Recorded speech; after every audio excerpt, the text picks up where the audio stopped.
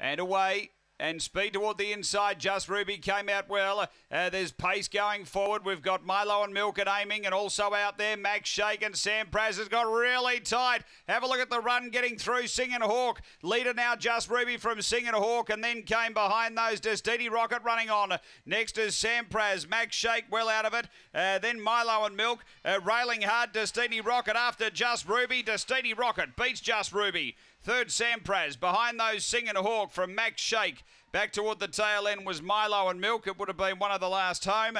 And back there with it was Aiming. The run here is around 26.20, but there'll be some hard luck stories there. After race number eight, finishing too powerfully along the rail, Destini Rocket for Tony Henriksen.